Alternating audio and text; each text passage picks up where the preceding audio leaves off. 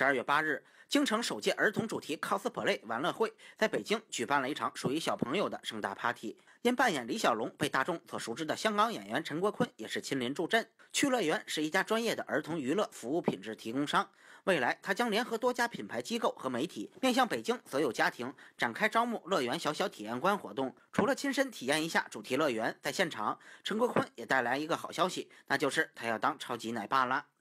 我明年三月份三月的时候就当爸爸，呃，其实都做了很多准备啊。其实呃，因为之前也有过经经验带小孩嘛，先练好身体，因为要跟他玩。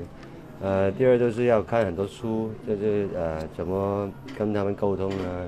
因为刚出生的小孩还没会不会反应，你说你跟他说的话，他可能回不到你，只是。发呆的看着你，然后要慢慢学很多东西，学学学。